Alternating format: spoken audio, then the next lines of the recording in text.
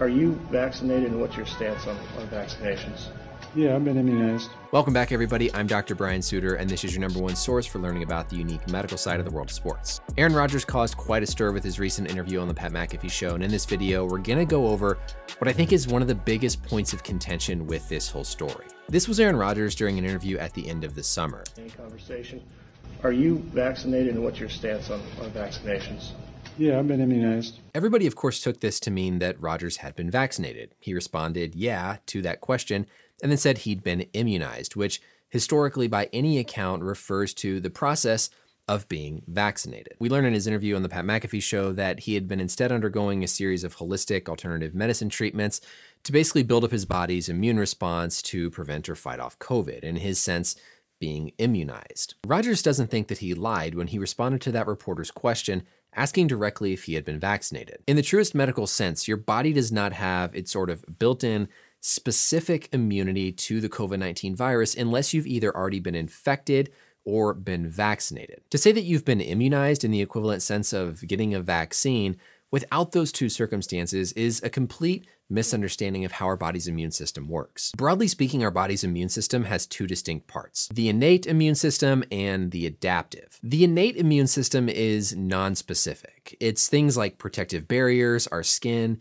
mucus, and the non-specific cells of our immune system that go around and just recognize general characteristics of pathogens like viruses, bacteria, and parasites. It's your body's first line immune response whenever you get any sort of infection within your body. We all have an innate immunity against general bacteria and viruses, but that innate immunity is not specific to the SARS-CoV-2 virus. On the other hand, our adaptive immunity, that's where those things like antibodies that you hear about come into play. Our adaptive immunity is this sort of learned response. Whenever our body is exposed to a specific pathogen, we have various cells in our immune system that work to generate these antibodies. The antibodies recognize specific characteristics and different molecules on that individual virus, like the COVID 19 virus, to have a more specific immune response and subsequent immunity to that infection. Further within this adaptive immunity, you can have either active or passive adaptive immunity,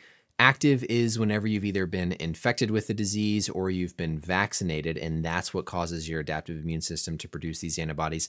Or passive, where you've either been inoculated with something like the monoclonal antibodies, or you've gotten those antibodies from things like placental transfer during pregnancy. In the body of somebody who's never had the infection or is not vaccinated or doesn't have the monoclonal antibodies floating around, the SARS CoV 2 virus attaches to these receptors within our body it's taken up by our cells, and then our body's own cells produce all the different viral compounds to release the virus back out into our bloodstream. Antibodies are these green little molecules produced by our adaptive immune system that have specific receptors for the proteins on the surface of the COVID virus. So when the virus enters our body, there's already these antibodies around that can provide a more robust immune response to latch onto that virus and block it from entering our cells. The other end of these antibodies has a receptor that the other parts of our white blood cell system can recognize to come along, latch onto that virus or bacteria, and basically destroy it to get rid of it from our body. When people talk about immune boosting diets or other things like Rodgers might have been doing here,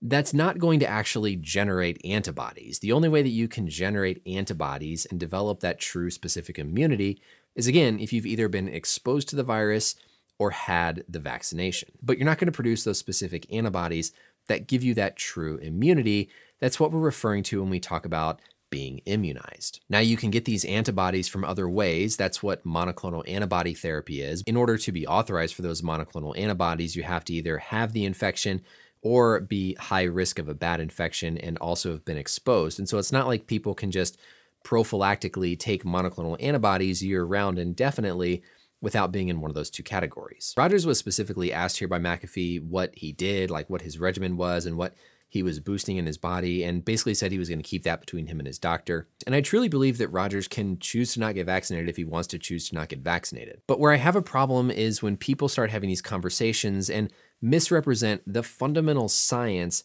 about how things like our immune system work. Hearing those initial comments gives people who might not understand the impression that you can be immunized against COVID 19 without having either had the infection or gotten the vaccine. But again, in the true accepted sense of what we mean when we say somebody's been immunized, you don't get there by doing just holistic type things and alternative medicine type approaches. Rodgers' point about his allergy to the two mRNA vaccines totally legit. If I had a serious allergy, I probably wouldn't want to take either of those either. Johnson & Johnson vaccine was paused for a short period of time, but this was only like 10 days before they found that there wasn't actually enough evidence to really say that those risks were enough to withhold giving it. I wish with all these different scenarios of people choosing to not get vaccinated, they would just say they don't feel comfortable getting vaccinated. Instead, we get people who try to explain their reasoning or kind of misconstrue the science.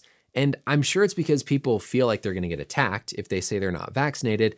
But instead, all it does is make everything more confusing because of all the rationale that they try to portray as true science. Just say you don't want to get vaccinated and move on. Unfortunately, people in society attack them for not getting vaccinated, and so you get situations like Rodgers where he probably felt afraid to say he wasn't vaccinated and said this statement instead about being immunized, which now only adds more confusion to the whole situation and misconstrues how the immune system works for the general public who's seeing these comments. So that's all I have to say right now about this situation. I think it was still a valuable opportunity to take a look at just the basic fundamentals of how our immune system works in terms of how we generate antibodies, what those antibodies do, and what we really mean when we say in medical sense that somebody has been immunized. Let me know as always any questions or comments down below, and until next time, we'll see you later. Bye.